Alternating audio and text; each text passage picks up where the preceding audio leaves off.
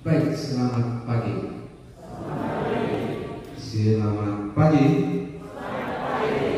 Sehat ke tidak ini? Kita mau nikah baru jawaban loyo-loyo ini. Apa ini? Selamat pagi.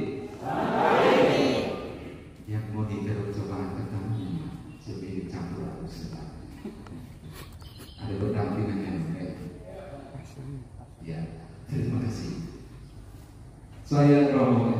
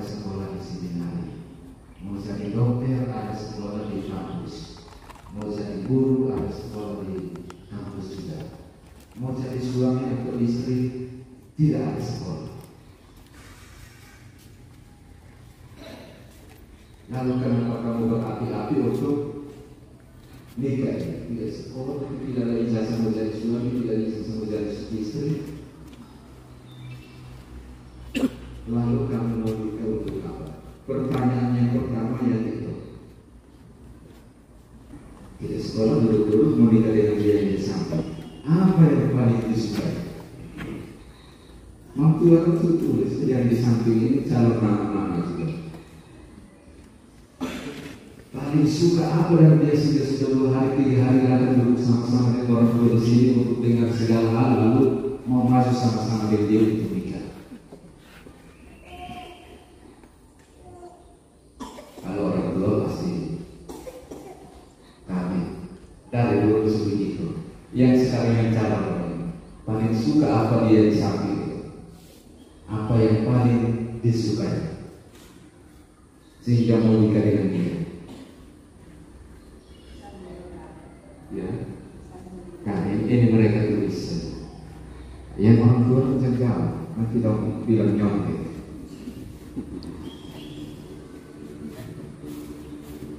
Sudah ingat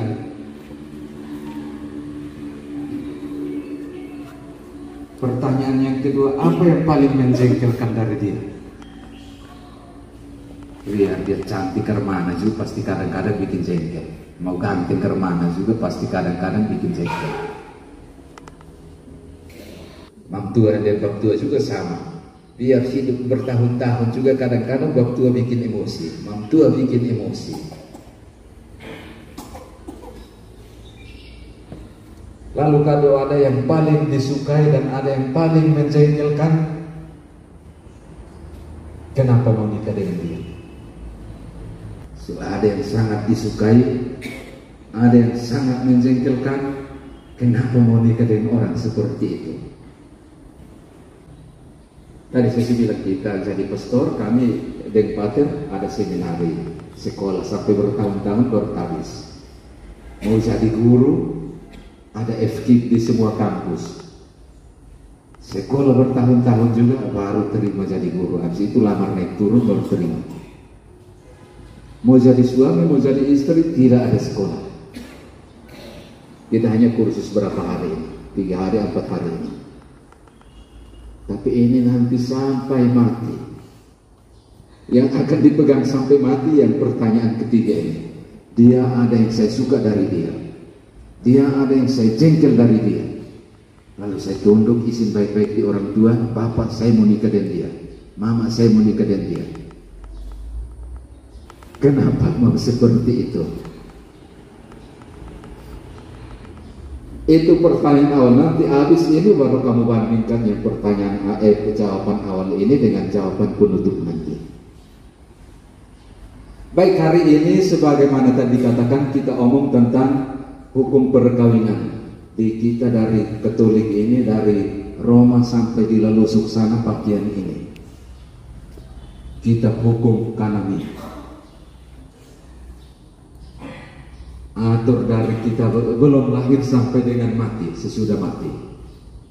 Omong segala hal tentang itu. Tentang kita orang Katolik, kitab hukum kanonik yang ini. Di dalamnya ada omong khusus berapa ratus bab tentang perkawinan kamu punya ini. Bagaimana kita hidup sebagai suami istri yang Katolik. Yang pertama yang kita lihat sudah dua hari kamu kursus menurut buku ini yang tadi saya bilang dari Roma sampai kita di Ladosuk, di Loopio, di mana-mana sama itu rumuskan perkawinan seperti ini. Perjanjian yang dengannya seorang pria dan wanita membentuk persekutuan seluruh hidup. Yang pertama yang kita lihat adalah seorang pria dengan seorang wanita. Kita Katolik tidak kenal perkawinan perempuan dengan perempuan, laki-laki dengan laki-laki. Sampai sekarang Romo tidak akan berkata saya menyatakan secara sah bahwa kamu dua adalah suami istri Katolik yang sah. Padahal laki-laki semua atau perempuan semua. Sampai kita mati kesetinggal dunia ini juga laki-laki dengan laki-laki, perempuan dengan perempuan, Romo tidak akan berkata jadi suami istri. Karena hakikatnya seorang laki-laki akan meninggal ayahkan ayah dan ibunya bersatu dengan istrinya yang adalah seorang perempuan. Sehingga itu persekutuan antara seorang pria dengan seorang wanita. Seluruh hidup, jiwa dan raga itu secara Bapak Mama sudah tahu. Yang menurut sifat kotoratinya terarah kepada kesejahteraan, kelahiran, pendidikan, dan ini diangkat menjadi sakramen. Selain pengertian tujuan kita orang Katolik menikah adalah yang itu. Kesejahteraan suami istri secara hukum. Kalau mau nikah untuk menangis dari pagi sampai tidur lagi, tidak usah nikah. Nikah untuk bahagia. Kalau sekarang dipaksa untuk kemudian menangis dari bangun pagi sampai naik tidur lagi karena suami atau karena istri, tidak usah menikah. Karena kita pilihan kami yang pilih pastor juga untuk bahagia. Kamu yang pilih jadi suami, jadi istri juga untuk bahagia.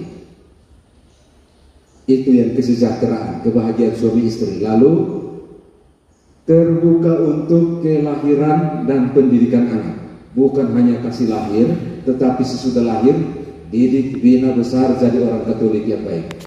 Nanti di janji pernikahan tadi bersediakan saudara-saudari menjadi ibu yang baik bagi anak-anak atau menjadi bapak yang baik bagi anak-anak mendidik mereka menjadi orang katolik yang baik dulu yang sudah nikah duluan dong sambil menangis-menangis ya saya bersedia. Yang ini dong siap-siap untuk menangis baru jawab. Latihan menangis memang. Ya saya mau. Bukankah lahir habis anak bawa ke bapak opa dengan oma biar di sana lalu kamu bebas di sini mau cari tanpa anak kamu buat apa kan? Tujuan kita lahirkan dan bina itu tujuan perkawinan katolik yang kedua tujuan yang berikut adalah terbuka untuk membangun masyarakat kalau habis nikah kalau tidak pernah terlibat di KUB saja lebih mati juga kami tidak usah pilih saya, pilih doa ya, pilih apa ya. Seperti itu. Dipanggil untuk membangun kehidupan sosial. Dan suami istri itu untuk kita dikukuhkan dalam sakramen. Bukan hanya diam-diam saya mau engkau, saya suka engkau, lalu selesai. Tapi dikukuhkan lewat sakramen. Dan kita punya sakramen sekali untuk selamanya perkawinan itu kecuali satu sudah mati satu rasa masih kuat cari lagi baru sudah tidak kuat mencari untuk apa. Ini kita siksa orang tua anak yang tadi pasal hukum kanonik itu dia membahasakan yang ini. Tujuan utama dari perkawinan itu untuk bahagia. Pikir panjang lagi kalau yang mau nikah untuk menangis ini. Kalau mau nikah untuk menangis tidak usah nikah. Lalu tujuan pelengkap lahirkan anak-anak, bangun masyarakat dan gereja. Sehingga konsekuensinya mau tidak mau sesudah nikah berjuang buat segala sesuatu untuk saling membahagiakan. bukan untuk buat saling satu angkat kaki, satu angkat tangan. Tempelin pakai kaki atau tendang pakai tangan. Lalu setia dan saling menghormati karena sampai mati. Lalu bersedia untuk bina anak-anak tadi saya bilang melahirkan habis jangan bawa pia oma dengan opa untuk piara. Kamu sendiri piara diri jadi orang Katolik yang baik. Lalu tadi berpartisipasi dalam kehidupan sosial. Untuk kita Katolik, kanon yang 1054, 1056 mengungkapkan sifat hakiki dari perkawinan itu. Yang pertama monogami. Sifat hakiki perkawinan adalah unitas, kesatuan, monogami dan indisolubilitas. Tidak terceraikan sudah satu saja, tidak ada hal yang memisahkan kecuali maut. Bersediakah saudara mencintai dan menghormati suami atau istri saudara sepanjang hidupmu? Lalu yang berikut, kanan berikut, membahasakan tentang perjanjian kesepakatan perkawinan. Perkawinan itu menurut hukum perjanjian antara orang-orang yang menurut hukum mampu membuat perkawinan. Nanti sebentar ada pasal berikut yang membahasakan siapa yang boleh nikah, siapa yang boleh kawin, siapa yang tidak boleh. Tidak semua orang masuk saya pastor tidak boleh. Salah satunya untuk kita Katolik. Suster di sana tidak boleh. Nanti sebentar baru kita lihat antara orang-orang yang mampu membuat perkawinan menjadi sah. Bukan diganti oleh kuasa manusia menjadi tidak diganti oleh kuasa manusia maksudnya karena dia berhalangan ada kerja di Kalimantan lalu suruh depu adik rupi duduk tangan ganti tangan saya jawab tangan ya saya mau ya saya bersedia tidak ada model begitu tidak terwakilkan harus hadir sendiri, omong sendiri, ungkapkan sendiri, kenapa saya mau nikah dengan dia. Bukan suruh tahan bapak mama saksi, jawab tahan dengan saya. Ada hukum setengah mati, jawab tahan. Jawab ganti ambil, misalnya. Karena ini menurut yang ayat kedua ini, karena ini adalah tindakan kehendak Artinya mau sendiri dari dalam untuk nikah dengan dia sehingga tidak bisa diwakilkan oleh satu adik, kakak, bapak, mama atau bapak mama saksi. Harus jawab sendiri karena kalau mau sendiri untuk nikah dengan orang ini. Maka untuk sampai pada jawab sendiri itu yang pertama harus dewasa dulu. Lalu sehat jasmani dan rohani. Sebentar kita lihat siapa yang secara rohani sehat ini bisa nikah. Lalu sadar normal dan waras. Kalau waktu datang mau berkat nikah lu mabuk sopi dan tidak betul. Romo suruh pulang. Harus jawab secara waras. Yang saya mau, yang saya bersedia. Lalu bukan otak setengah. Orang ODGJ, orang dengan gangguan jiwa sudah itu tujuan berkaitan untuk membahagiakan. Kita berpikir membahagia dari mana? Tujuan membahagiakan.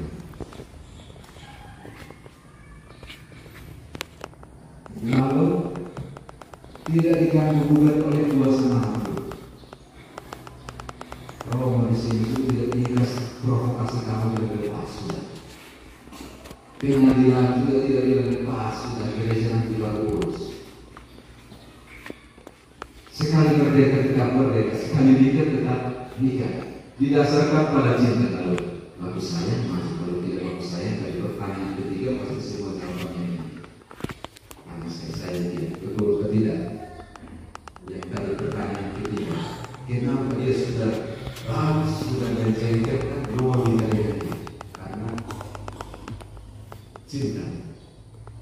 lalu ada semangat penyerangan diri dan mau menyangkal diri. Itu konsekuensi.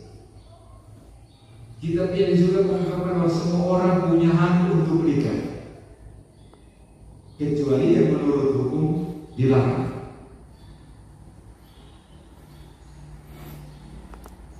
Yang menurut hukum dilarang yang tidak boleh menikah. Tapi semua siapa pun selama dia punya hati waras otak waras perasaan bagus bisa boleh nikah hambatan atau larangan atau halangannya nanti kita lihat di poin yang berikut ini.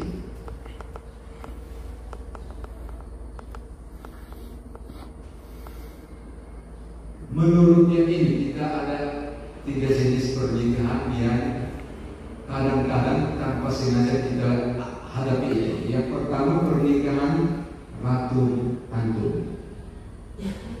Pernikahan ratu tanggung ini pernikahan yang datang di sini berduduk di hadapan pastor. Sesudah itu selesai. Sesudah berkat nikah selesai. Yang kedua ratu yang konsumator pernikahan yang sesudah berkat di sini pulang dan diikut sertakan dengan tindakan persetubuhan. Itu perkawinan tarif, perkawinan yang macam biasa kalau perang itu atau nonton sinetron itu membuat macam suami istri atau ini tapi bukan suami istri. Untuk kita yang Katolik yang diakui adalah perkawinan yang kedua ratu dan konsumator. Lalu kita kami juga menjelaskan cara langkah-langkah untuk menuju sebuah perkawinan. Yang pertama adalah khusus nikah seperti kita buat sekarang ini. Ini diatur semua sehingga nomor sampai di lalu ya oke sudah tahu itu. Yang kedua untuk memberikan pemahaman kepada calon suami istri tentang martabat perkawinan dan konsekuensi-konsekuensinya selama dua hari ini beberapa hari ini kamu sudah dengar banyak tentang perkawinan Katolik. Ada tentang berkat sakramennya ke mana, pendidikan di rumah tangga ke mana, ekonomi moral mana, semua sudah itu. Bicara. Salah satu hal dalam bentuk hal moral. Sekarang saya dia sebagai apa? Sebagai manusia atau sebagai tiga tiga tiga tahapan yang cinta itu ada eros, ada filia, ada agape. Eros itu saya dia karena misalnya minta saya tidak bersaksi, saya tidak bersaksi. Saya saya dia kalau jalan boleh berkuasa karena fisik. Itu eros. Filia itu saya dia karena dia keibuan, kebapaan, keapaan, sifat-sifat tertentu Agape itu saya dia karena dia juga manusia yang butuh kasih sayang. Kalau masih di dua tahap itu eros dengan agape sesudah kursus itu sudah akan kamu sesudah kau mana Kalau sudah agape sayang dia karena dia juga manusia seperti saya, butuh kasih sayang terus. Dengan bapak mama, bapak mama saksi datang daftar di rombong penyelidikan kami, kami nikah. Tanggal ini tapi kalau kalian masih dua di tahap dua pertama, lebih baik tidak usah. Jadi ini untuk memberi pemahaman tentang kamu bagaimana kita menikah secara katolik dengan segala konsekuensinya. Tujuan kursus itu untuk ini. Paham sifat tadi sudah kita buat. Hidup berkembang menurut semangat Kristiani sudah dua tiga kali. Ini semua diatur di hukum kanun bukan saya tidak dalam gereja ini. Itu kalau mulut kotor itu juga mulut kotor ikut kerawat itu. Tekun pelihara janji perkawinan nanti sesudah nikah. Jaga itu sampai mati. Syarat mutlak untuk sah dan halal sebuah perkawinan kalau tidak ikut kursus suatu saat bisa minta anulasi kamu guru saya ini tidak kursus. Pasti selesai. Kasih anulasi saya anulasi itu macam dia sekarang menonton bola. Anulir sudah gol, wasit klub Liverpool tidak gol. Karena hands, tak offside, tak pelanggaran apa Itu anulir kalau biasa di nonton bola. Kalau di perkawinan Katolik, anulasi itu seperti itu. Sudah berkat tapi datang minta diterima Romo nyatakan bahwa yang berkat itu tidak sah. Sehingga alasannya tidak cari dulu kenapa menikah. Bukan karena sekarang sudah terpisah 14 tahun, 20 tahun. Bukan karena alasannya sekarang. Kalau orang lain, agama lain, pakai alasannya sekarang dia hidup saya terus. Kita pun tidak. Hukum menginjak mati sudah suami, buku istri. Sampai sebelum nikah. Kita pun cari alasan yang dulu sebelum nikah. Langsung sekarang. Ada orang yang pas kabur tidak nikah belum mati. Suatu saat bisa anulasi. Anulasi setelah kami sudah gol, tetapi wasit bilang tidak gol. Sudah berkat, tapi datang untuk kita cari alasan menyatakan bahwa yang dulu berkat itu tidak sah. Jadi itu syarat mutlak untuk sah dan halalnya sebuah berkait. Misalnya kamu tidak ikut kursus saja hari ini, 20 tahun ke depan cekcok dengan istri dulu, istri datang menghadap keribunan Romo, saya mau anulasi. Kenapa? Dulu saya tidak ikut kursus. Bisa. Maka itu dia menjadi syarat untuk sah dan halalnya sebuah perkawinan. Tidak kursus, tidak sah. Anulir saat kita anulir. Lalu nanti secara khusus ada penyelidikan kami ini. Semua diatur di dalam buku ini. Tujuannya untuk memperoleh informasi tentang kebebasan dan integritas kesepakatan nikah. Lu bebas mau nikah atau dipaksa. Mau nikah karena apa? Nanti karena nikah kalau tanya kamu satu tentang itu. Pada di sini satu tentang itu. Ini anak serius tidak mau menikah. Kalau tidak serius maka tunda dulu. Isinya nanti itu sesuai dengan di biasa ada perlengkapan administrasi dan tujuan kanonika eh, pendidikan kanonik ini adalah untuk mengetahui apakah kamu ini terlarang dilarang nikah atau tidak. Yang dilarang nikah adalah seperti ini. Perkawinan pengembara, dia tidak jelas tahu di mana, tinggal di mana, dari mana.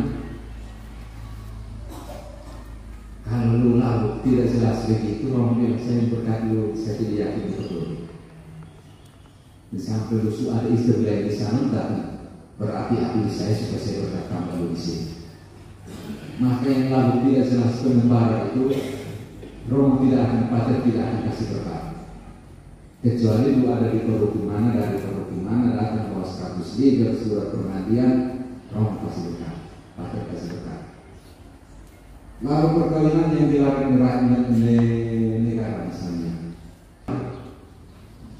Perkawinan yang dilarang berikut adalah perkawinan kedua atau ketiga. Jadi sudah ada satu di audio, tidak akan ambil satu di iPhone misalnya. Nah, lu boleh berapa? Dilarang itu nanti di penyelidikan kami kalau kita tanya yang itu itu dapat semua.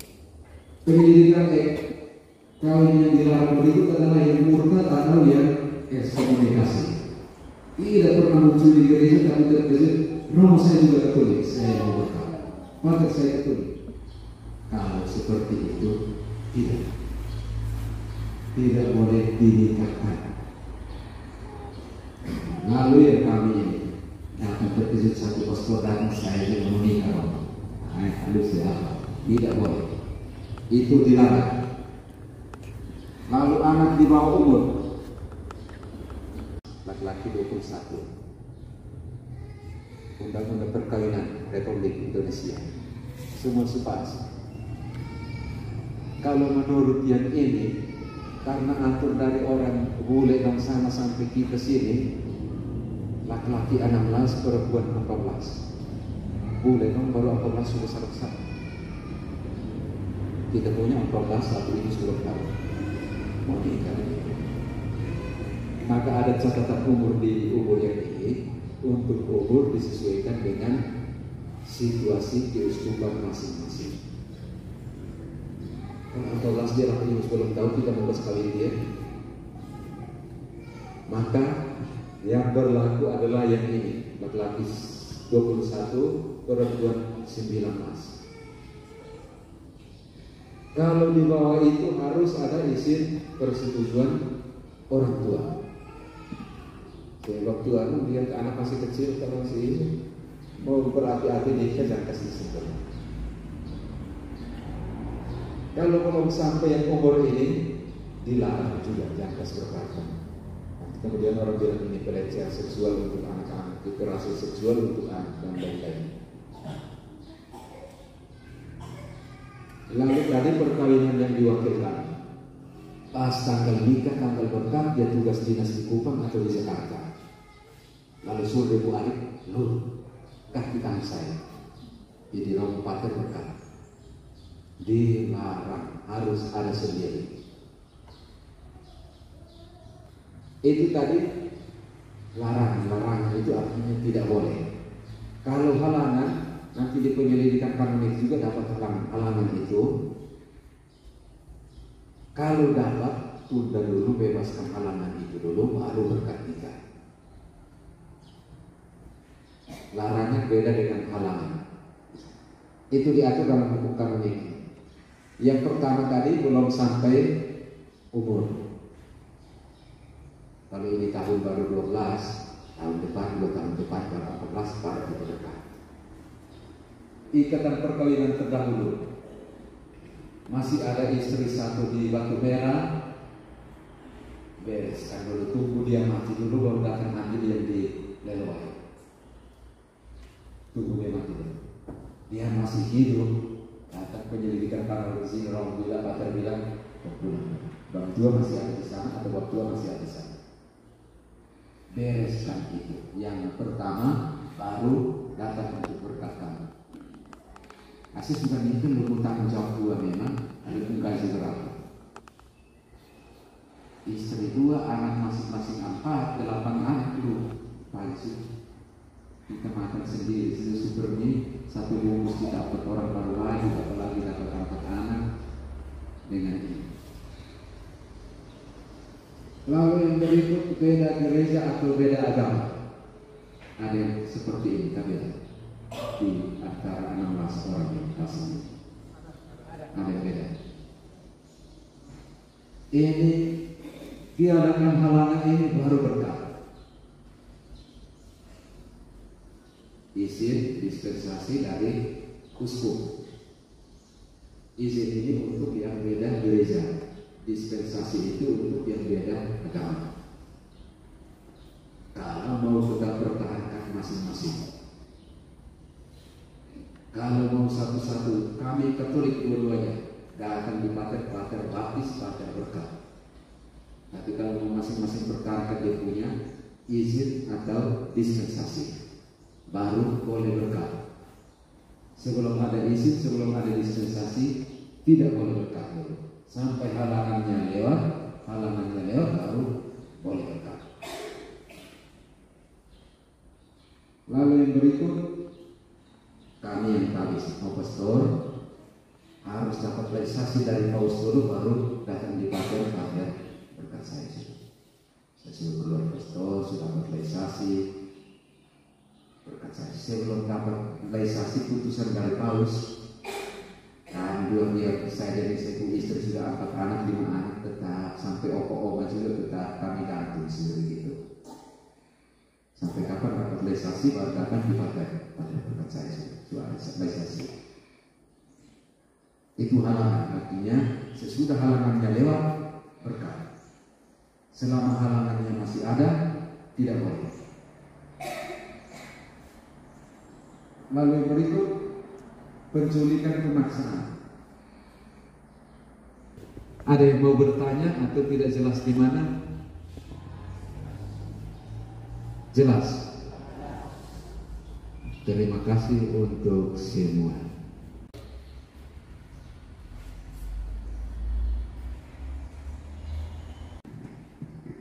Baik, ini sudah banyak mendengar materi tentang hukum perkawinan agama. Mari kita beri